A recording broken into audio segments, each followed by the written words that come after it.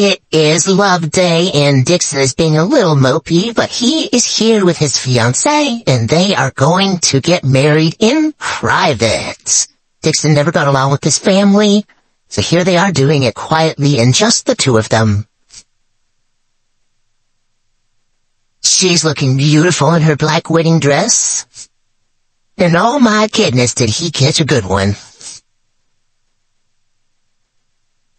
I promise to never break your heart. I will love you forever and ever. Have all the babies that you want.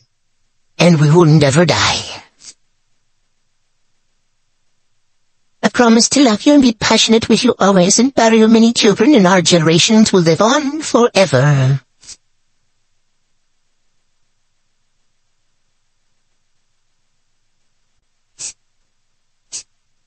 And give her a ring. Oh, she likes it. She has pockets in her dress? No way. And kiss. Oh, that's the cunt's tradition. Gotta bonk the heads. Oh, aren't you guys sweet? Congratulations, Dixon. He's officially off the market. A little umbrella dance celebration because they are successfully married and ready to start a life together. Congratulations, Dixon.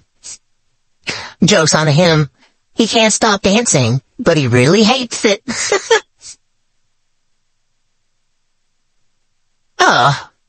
Oh, goodness gracious. You guys are clumsy as all get out. Poor thing, she's gonna leave with a concussion on your honeymoon night. Random dude just standing there being the third wheel.